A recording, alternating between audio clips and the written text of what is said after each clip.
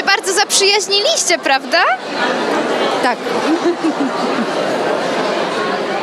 No tak to wygląda, że bardzo dobrze się dogadujecie. Potrzebne, tak. E, Potrzebne jest, chociaż nie jest zawsze. Nie zawsze wszyscy się lubią, chociaż jest dużo przyjemniej, bo jednak spędzamy ze sobą dużo czasu i e, jest fajnie, że się bynajmniej lubimy.